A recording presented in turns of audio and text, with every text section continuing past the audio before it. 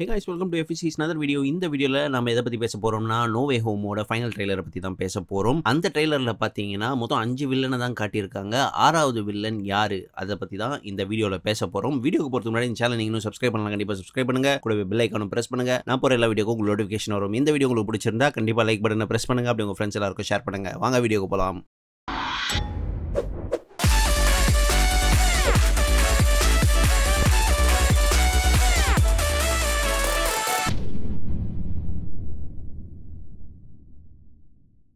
So நோவே home final ட்ரெய்லரில் பார்த்தீங்கன்னா மொத்தம் அஞ்சு வில்லனை காட்டியிருந்தாங்க. பட் நான் என்ன நினச்சேன்னா அந்த காப்ளின் மாதிரியே ஒரு கேரக்டர் காட்டினாங்களே அது வந்து ஹாரி ஆஸ்பானா இருக்கும் அப்படின்னு நினச்சேன். பட் நிறைய பேர் என்ன சொல்லியிருந்தாங்கன்னு பார்த்தீங்கன்னா அது க்ரீன் காப்ளின் அப்கிரேடட் சூட்டில் வந்திருக்காரு அப்படின்னு சொல்லியிருந்தாங்க. அதில் ஒரு லீக்ட் இமேஜும் அது சம்மந்தப்பட்டு ரிலீஸ் ஆச்சு. ஸோ நோவே ஹோமோட ஃபைனல் ட்ரெய்லரில் வெறும் அஞ்சு வில்லனை தான் காட்டியிருக்காங்க. பட் எப்பவுமே ஸ்பைடர்மேன் கிட்ட சண்டை போடணும்னா வில்லன் அஞ்சா வர மாட்டாங்க ஆறாவதா வருவாங்க. அவங்க பேர் தான் சினிஸ்டர் சிக்ஸ் இந்த சினிஸ்டர் சிக்ஸ் வந்து பார்த்தீங்கன்னா ஸ்பைடர்மேன் யூனிவர்ஸில் ரொம்ப ஃபேமஸான ஒரு ஈவில் டீம் ரொம்ப காலமாக இருந்துட்டு இருக்கு இந்த சினிஸ்டர் சிக்ஸோட மெம்பர்ஸ் யாருன்னு பார்த்தீங்கன்னா கான்ஸ்டண்ட்டாக ஒரே நபர்கள் இருக்க மாட்டாங்க. வேற வேற ஸ்டோரி லைனில் வேற வேற சூப்பர் வில்லன்ஸ் சேர்ந்துக்கிட்டு தான் இருப்பாங்க போயிட்டு தான் இருப்பாங்க.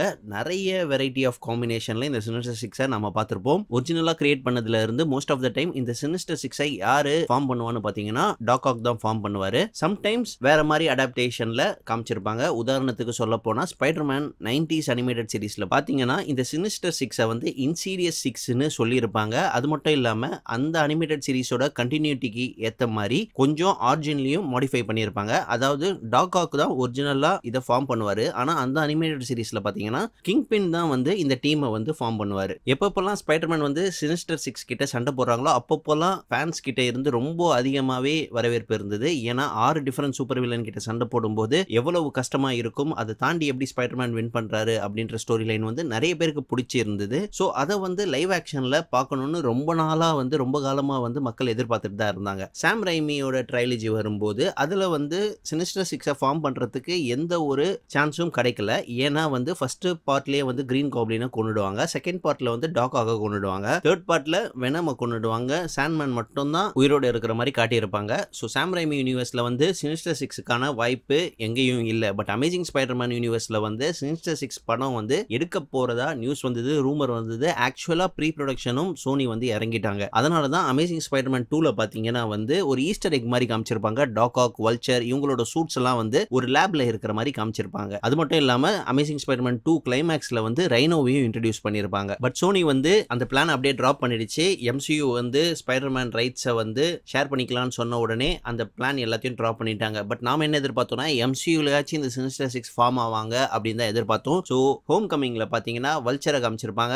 அதே மாதிரி போஸ்ட் கிரெடிட்ல ஸ்கார்பியனையும் இன்ட்ரடியூஸ் பண்ணியிருப்பாங்க ஸோ ஃபைனலாக நான் என்ன எதிர்பார்த்தேன்னா ஓகே எம்சியூவில் தான் இவங்க ஃபார்ம் ஆக போகிறாங்க அப்படின்னு நினச்சேன். அதே மாதிரி ஃபார் ஃப்ரம் ஹோமில் மிஸ்டீரியும் சூப்பராக இன்ட்ரடியூஸ் பண்ணாங்க. கெமிலியானுக்கான ஒரு சின்ன ஈஸ்டர் எக்கும் அதில் வச்சிருந்தாங்க. அவங்க அந்த பஸ்ஸில் ட்ரிப்பு போகும்போது டிமிட்ரின்னு ஒரு பாடி கார்டை காட்டுவாங்கல்ல அவன் வந்து ஸ்பைடர்மேனோட சூப்பர் வில்லனாக இருக்கலாம்னு நிறைய தேடி வந்தது. ஏன்னா கெமிலியானோட உண்மையான பேர் வந்து டிமிட்ரி ஸோ எம்சியூலேயே ஆல்ரெடி நாலு பேரை காமிச்சிட்டாங்க. இன்னும் ரெண்டு சூப்பர் வில்லன் தான் சூப்பராக சினிஸ்டர் சிக்ஸை எம்சியூவில் ஃபார்ம் பண்ணிடலாம். அப்படின்னு தான் நான் எதிர்பார்த்துட்டு இருந்தேன். பட் அவங்க வந்து அப்படியே டிஃப்ரெண்ட்டாக கொண்டு போயிட்டாங்க. லைவ் ஆக்ஷனில் இப்படி போயிட்டு இருக்கும்போது ஸ்பைடர்மேனோட டூ தௌசண்ட் எயிட்டீனில் வந்த கேமில் பார்த்தீங்கன்னா அங்கே ஒரு சினிஸ்டர் சிக்ஸை ஃபார்ம் பண்ணி வேற லெவலில் பண்ணியிருந்தாங்க. ஒவ்வொரு பாஸ் ஃபைட்லையும் வந்து சூப்பராகவே இருந்தது. அட் அ டைம் ரெண்டு வில்லனை சமாளிக்கிற மாதிரி ஸ்டேஜஸ்லாம் ரொம்பவே சூப்பராக டிசைன் பண்ணியிருந்தாங்க. வேற லெவலில் எக்ஸிக்யூட் பண்ணியிருந்தாங்க. ஸோ நோவே ஹோமோ பற்றின முதல் நியூஸ் வந்து எப்போ வந்ததுன்னா ஜெமி ஃபாக்ஸ் வந்து இன்ஸ்டாகிராமில் அவர் போஸ்ட் போட்டது தான் மறுபடியும் எலக்ட்ரோவா நடிக்க போகிறேன்னு அந்த போஸ்ட்டை வந்து கொஞ்ச நேரத்திலே அவர் டெலீட் பண்ணிட்டாரு. பட் ஆல்ரெடி நியூஸ் எல்லா இடத்துலையும் பரவிடுச்சு. அதுக்கப்புறம் அல்ஃபிரட் மொலினா வில்லியம் டெஃபோ இவங்கெல்லாம் வரும்போது ஓகே மல்டிவர்ஸ் தான் நடக்குது அப்படின்னு எல்லாருக்கும் தெரிய வந்தது. அதே மாதிரி மல்டிவர்ஸ் சினிஸ்டர் சிக்ஸை ஃபார்ம் பண்ண போகிறாங்கன்னு தெரிய வந்தது. எல்லாருக்கும் நியூஸ் பரவலாக பேசப்பட்டது. நோவே ஹோம் டைட்டில் வந்து அவங்க ரிவீல் பண்ணும்போது நான் ஒரு வீடியோ போட்டிருந்தேன். அதில் என்ன சொல்லியிருந்தேன்னா ஆல்ஃபிரட் மொலினா ஓட டாக்காக்கும் ஜேமி ஃபாக்ஸோட எலக்ட்ரோவும் கண்டிப்பாக இருப்பாங்க. இது தவிர்த்து மிஸ்டீரியோ வல்ச்சர் அதுக்கப்புறம் சோனி யூனிவர்ஸில் இருந்து மோபியஸும் வெனமும் இருப்பாங்க அப்படின்னு சொல்லியிருந்தேன். பட் இவங்க வந்து அதுக்கு மேலேயும் போயிட்டு எல்லாமே மல்டிவர்ஸ் வில்லன் தான் அப்படின்ற மாதிரி காமிச்சிருந்தாங்க. இந்த ரெண்டாவது ட்ரெய்லர் வரும்போது கன்ஃபார்மாக தெரிஞ்சிருச்சு எல்லாமே மல்டிவர்ஸ் வில்லன் தான் அப்படின்ற மாதிரி. ஏன்னா ஸ்பைடர்மேன் படம் இதுக்கு முன்னாடி அதாவது எம்சியூக்கு முன்னாடி அஞ்சு படம் ரிலீஸ் ஆயிருந்தது. அந்த அஞ்சு படத்தில் இருந்தும் அஞ்சு வில்லனை எடுத்திருக்காங்க அவங்க. ஸ்பைடர்மேன் ஒன்ல இருந்து கிரீன் காப்ளின் ஸ்பைடர்மேன் டூல இருந்து டாகாக் ஸ்பைடர்மேன் த்ரீல இருந்து சாண்ட்மேன் அமேசிங் ஸ்பைடர்மேன்ல இருந்து லிசார்ட் அமேசிங் ஸ்பைடர்மேன் டூல இருந்து எலக்ட்ரோ இவங்க அஞ்சு பேரை அப்படியே எடுத்திருக்காங்க. இப்போ இந்த ஆறாவது வில்லன் யாருன்றது தான் நிறைய பேர் மனசுல ஓடிட்டு இருக்கு. நான் உட்பட நிறைய பேர் என்ன சொல்லியிருந்தாங்க பார்த்தீங்கன்னா ஜேம்ஸ் பிராங்கோவோட ஹாப் காப்ளின் தான் அது அப்படின்னு சொல்லியிருந்தாங்க. இல்லைன்னா அமேசிங் ஸ்பைடர்மேனில் வந்த ஹாரி ஹாஸ்பானா தான் இருக்கும் அது அப்படின்னு சொல்லியிருந்தாங்க. பட் ரெண்டுமே இல்லைன்னு ஆகிப்போச்சு அது வந்து கிரீன் காப்ளின் தான். கிரீன் காப்ளின் வந்து அடிப்பட்ட பிறகும் சூட் மாற்றிட்டு வந்து சண்டை போகிறது கொஞ்சம் அப்கிரேடட் சூட் தான் இது அப்படின்ற மாதிரி நிறைய தியரிஸ் வருது. அதுக்கேற்ற மாதிரி லீக்கடு இமேஜும் வந்திருக்கு. ஸோ அப்போ யார் தான் அந்த ஆறாவது சூப்பர் வில்லன் அப்படின்னு கேட்டிங்கன்னா நம்ம வல்ச்சராக தான் இருக்கும் மோஸ்ட்லி ஏன்னா வல்ச்சர் வந்து ஜிம்மி கிமில் ஷோலேயே வந்து அதை ரிவீல் பண்ணியிருந்தாரு. அது மட்டும் இல்லாமல் மைக்கேல் கீட்டான் வந்து அட் அ டைமில் ரெண்டு பெரிய காமிக்ஸ் கம்பெனிக்கு மல்டிவர்ஸ் படம் பண்ணிட்டு இருக்காரு அந்த சைடு வந்து டிசியில் வந்து ஃப்ளாஷுக்கு பண்ணிட்டு இருக்காரு பேட்மேனாக நடிக்கிறாரு. இங்கே வந்து வல்ச்சராக நடிக்கிறன்றதையும் ரிவீல் பண்ணியிருந்தாரு. ஒவ்வொரு தடவையும் அவர்கிட்ட வந்து மேக்கர்ஸ் வந்து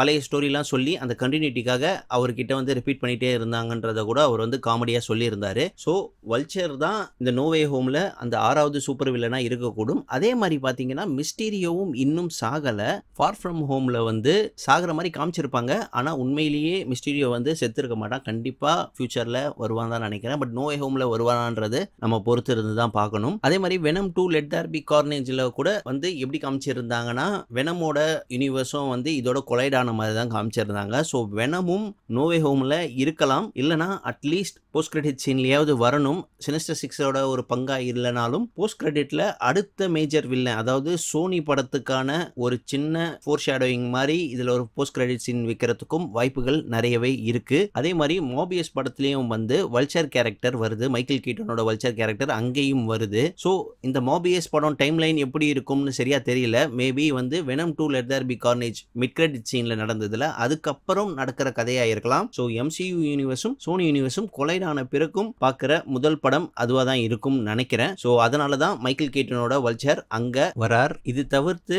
குறுக்க இந்த கௌஷிக் மாதிரி குறுக்க கிராவன் த ஹண்டர்னு ஜிம் ஜிம்மி கெமில் வந்து ஒரு ஓரமாக வந்து நானும் நடிக்கிற நோவே ஹோம்ல சொல்லிட்டு சுத்திட்டு இருக்காரு. அவர் வந்து ஒரு ஆக்ஷன் ஃபிகரையும் ரிவீல் பண்ணியிருந்தார் அவரோட ஷோல. அது வந்து ஜஸ்ட் கேகுன்னு தான் நினைக்கிறேன். ஏன்னா கிராவன் த ஹண்டரா வந்து ஏற்கனவே ஆரன் டெய்லர் ஜான்சனை வந்து சோனி வந்து ரெக்ரூட் பண்ணி வச்சிருக்காங்க. அந்த படம் வந்து ரெண்டாயிரத்தி இருபத்தி மூணில் வரப்போகிறதா நம்ம ஏற்கனவே நியூஸ் பார்த்துருந்தோம். கிராவன் த ஹண்டர் பார்த்தீங்கன்னா வந்து சினிஸ்டர் சிக்ஸ் ஆரம்பிச்ச போது இருந்த one of the member founding மெம்பர்னே சொல்லலாம். அதே மாதிரி பார்த்தீங்கன்னா வில்சன் ஃபிஸ்க் அதாவது கிங் பின் கேரக்டரும் பார்த்தீங்கன்னா இந்த சினிஸ்டர் சிக்ஸ் ஸ்டோரி லைனோட ரொம்ப ரிலேட்டிவான ஒரு கேரக்டர் அந்த கேரக்டரும் நோவே ஹோமில் வரத்துக்கு நிறைய வாய்ப்பு இருக்குது ஏன்னா ஆல்ரெடி சார்லி காக்ஸ் நோவே ஹோம்ல வரப்போறாரு. ஸோ வில்சன் ஃபிஸ் கேரக்டரையும் அங்க கொண்டு வந்தா சூப்பரா தான் இருக்கும். சினிஸ்டர் சிக்ஸோட இவர் மாஸ்டர் பிளான் பண்ற மாதிரி ஒரு சீனை காமிச்சா நல்லா தான் இருக்கும். பட் அது நடக்குமான்றத வந்து கேள்விக்குறி தான். ஏன்னா வில்சன் ஃபிஸ் கேரக்டரை நம்ம நெட்ஃபிளிக்ஸ் டேர் டெவில்ல பார்க்கும்போது ரொம்ப டார்க் அண்ட் கிரிட்டியா இருந்தது. ஆனா அது வந்து அந்த கேரக்டர் எம்சியூ டோன்ல போட்டா செட் ஆகுமான்றது வந்து ஒரு கேள்விக்குறியா தான் இருக்கு. பட் இந்த கேரக்டர் வந்து